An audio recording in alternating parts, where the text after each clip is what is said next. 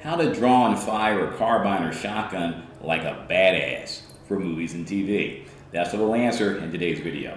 Hi, my name is Dillon Wilson with CBT Stunt Alliance. Train hard, perform easy. We help actors, stunt performers, filmmakers, and content creators on professional stunt training for use in film, TV, and live action entertainment. Before we get underway, if you'd like to learn how to add rifle, carbine, and shotgun movie gun training to your current acting or stunt performance skill set, check out our highly popular online master course at movierifletraining.com. You can learn all the movie set gun safety basics, how to properly hold a rifle or carbine, how to draw and shoot a rifle, carbine, or shotgun for film and television, you know, tact, uh, reloads, also how to do scene work with carbines and rifles and more. All taught by pro armors for the film and television industry. You can sign up now and start training now. Go to movierifletraining.com for more information. Or click on the link below this video. Okay, so we get a lot of questions about tactical movie gun training for film and television. So we're going to share a few tips with you.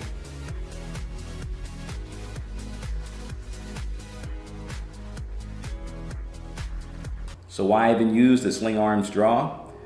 Because many actors and stunt performers already have the carbine out in their arms in the scene because they in production don't know how to do this. So you can actually bring more production value and show more character development when you draw the rifle or shotgun from a sling position. The sling position is where the military, mercenaries, hunters, etc. carry their rifles when they need their hands free for some reason.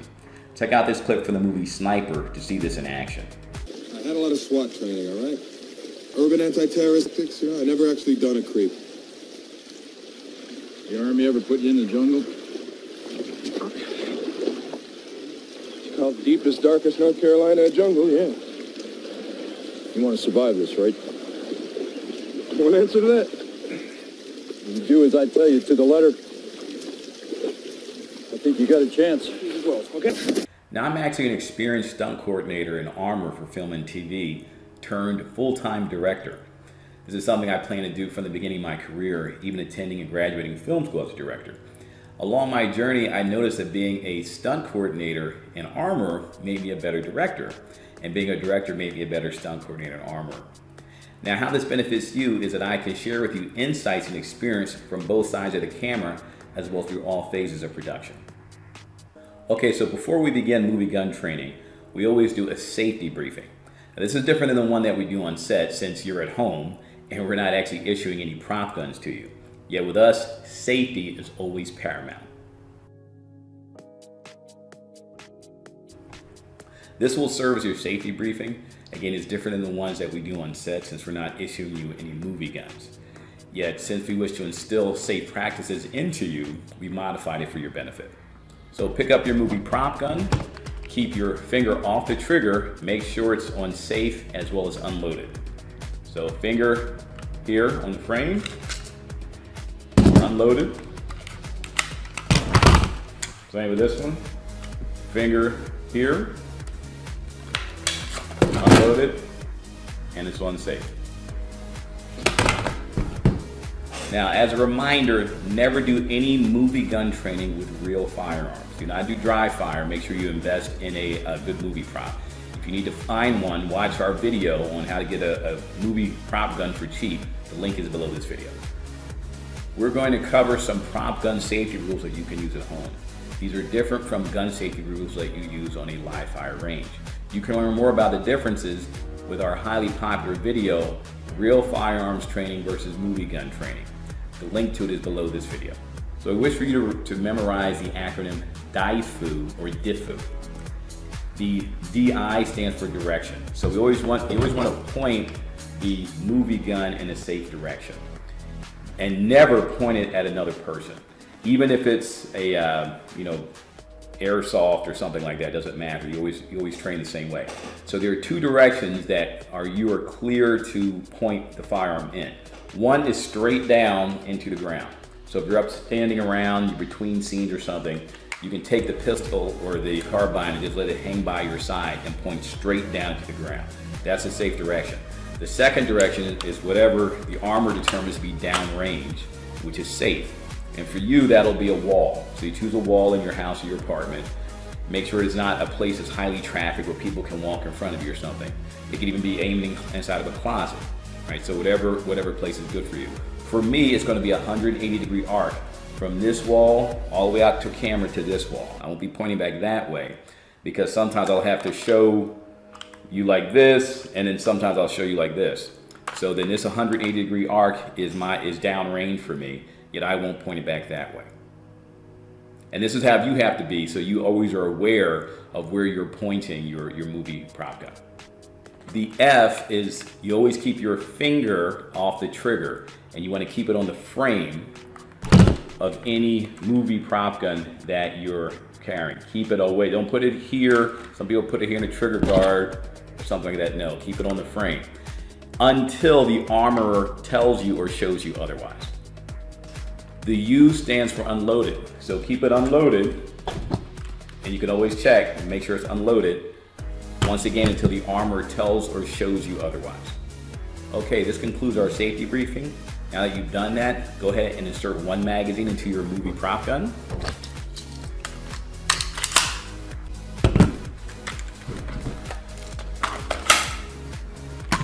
And listen to the instructions given by the armorer. So we're going to show you a draw that you can do. Actually, it's really good for playing a villain role, right? So what we're going to do is we're going to start from a position, from a sling position. So you want to make sure you have a sling on the carbine that you're practicing with. And here's what we're going to do. We're to hold the sling like this. We're to start our arm in straight at shoulder height, like so, right? Boom, we're here. So at this point, you know, we do something we call it, you know, shooting the shit. We're kind of talking to our comrades or colleagues or whatever. And then we're gonna, you know, identify a threat, and then we're gonna do the draw. I'm gonna demonstrate the draw and then show it to you in slow motion. Threat. Bang, bang. Right? So I'm gonna break that down for you. First thing you do is hold the thing like so. You insert your arm through like this. So it's comfortably resting on your shoulder. And believe me, when you have a non-firing replica or you know a blank firing gun, they're heavy. You're gonna wanna know how to use that sling because carrying your arms is very heavy. So you're, you're shooting the shit, you're, you're talking, because usually when you're doing a draw, you're gonna be at a state of rest, right? If you learn this draw, the director is going to love you and you're going to be in the final cut. 99 times out of 100, you're going to be in the final cut of the, of the, of the movie. So here's what you do. Threat. Your hand, your uh, firing hand reaches back and touches the, uh, the stock of the, of the firearm, about in the middle. And all you're going to do is rotate it forward like this. Now, while the firing hand is rotating the stock forward, the support hand is positioning itself coming up like this. And if you notice, you see I'm turning it like this? So that's how I put it into the hand. And now from here, I go here, I disengage the safety and I fire. Bang, bang. Now as far as disengaging the safety, on a carbine, on this particular carbine, you see the safety is right here. So to disengage it, the safety is on. To disengage it, you want to turn it to semi-automatic or even full automatic, depending what the armor tells you. So it's good to practice this way you may or may not have to use this on set, and we'll cover that later. Yet for training purposes, because we always do things that are combat oriented first, and then we modify for film. So even for combat, you know, each time I'm firing, I'm disengaging a safety. You can't see that. I'll do this way. I'll, I'll slow down. Right, that's when you're legit. So we're gonna do it one more time on this side, and I'll show you on the other side as well. Again, we're shooting the shit. Threat. Bang, bang. Important thing is to be able to do it on both sides, be ambidextrous. So I'm gonna do it on the same on the other side. Threat. Bang, bang. Same thing also works with a shotgun. Depending on the character that you're playing, you may want to be the one with the street sweeper. So do the same exact thing. We're here shooting the shit other cowboys, cowgirls around you. Threat. Right? That's how it works. Broken down step by step to make it easier for you to understand. Lastly, we'll finish up by sharing some tips for character development, film and TV, production recommendations, and more. Yet before we do, check this out. Let's take a sneak peek and look inside this master course that was made by professional armors for film and TV, stunt coordinators, actors, and filmmakers for professional actors, stunt performers, and filmmakers and content creators. By the way, if you're a veteran or experienced with firearms, you're going to learn how to convert your skills into movies and TV. Now, the first thing you see is you notice that we designed our platform to be intuitive and easy to use. Shows right here how many classes. There are 91 instructional classes in here, so there's a lot of information in here to fuel your entire career. Also, each master course starts out with an introduction and a safety briefing from your instructors. Let's go ahead and hop in and take a look at one of them. Now let's listen to what they have to say. Has value, and those teachers oftentimes are able to help other people grow, expand, and become more. So when you have that rare occasion when you can have those who they actually, you know, share their background, you know, their pertinent information and actually brief you to be safe as you're going through the training. Plus, you also see that there is a, a cheat sheet, which is an actual handout that accompanies a course, which is so crucial to help you learning everything. We're to take a look at that in a moment. Plus, we have our, our private online social community, which actually take a look at a little bit later on. These are all resources that, that are here to help you and support you as you grow your career. Plus, you get uh, premium email support, you know, our email address, you can ask us questions, you know, at any time. As you notice, our innovative master course platform shows you if you finished that instructional or not.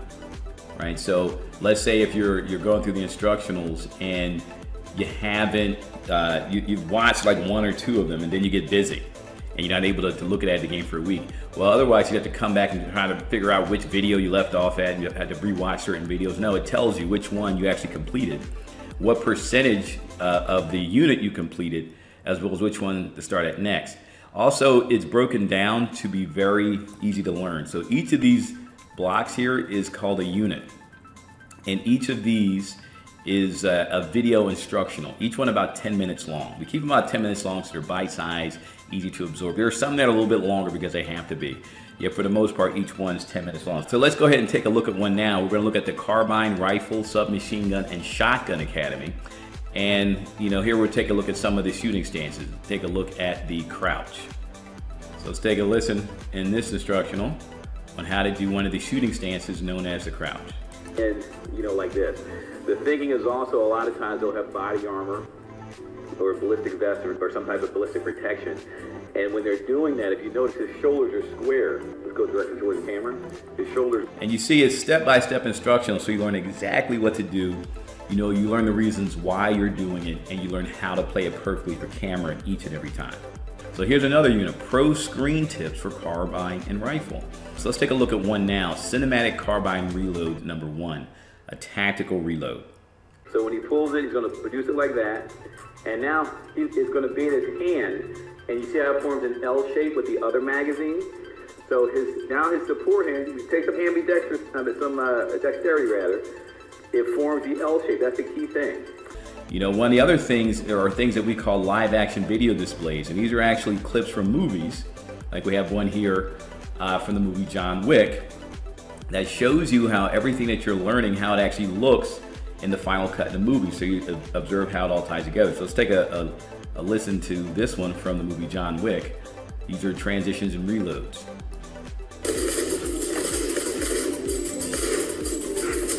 There's that reload. See how quickly it happens. We're gonna go on down to the shotgun clinic. And it shows you everything you need to know cinematically on how to use the, the shotgun to uh, for dramatic effect. Let's take a look at one of these. So from here, I'm here, I play the camera, and then I go up and down. That sound and that motion, and if you observe, you probably saw the shell. And once again, let's take a look at one of the live action video displays for that same one. For the dramatic one arm reload with the shotgun, we'll look at how it was used in a movie before.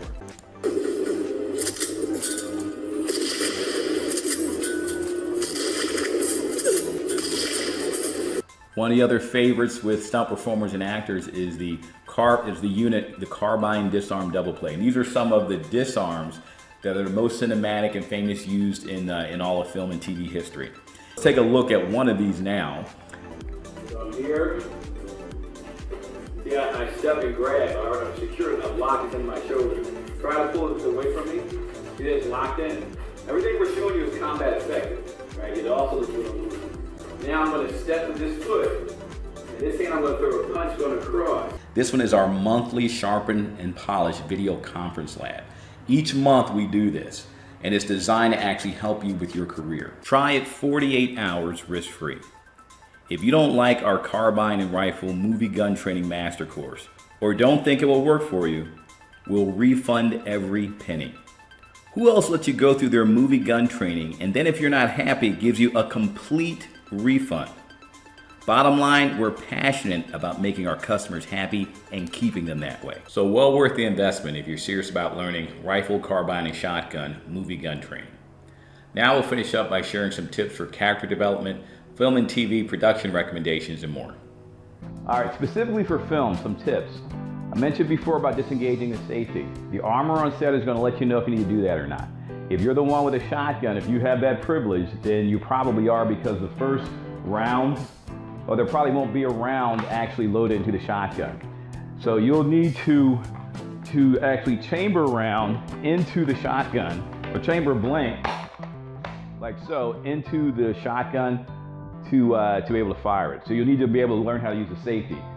If it's going to be, if they're using VFX muzzle flares, you'll probably have a non-firing replica or something, and it may not, may not be important if you use the safety or not. Though uh, it's good to practice it anyway. The other thing is uh, roles that are good for. This is great for cowboy roles. You can see that. You know, again, what it, we say a villain, yet it could just be, you know, you just be a badass cowboy. That's just your style of drawing, right? Also good for, not for soldiers, because soldiers don't train that way.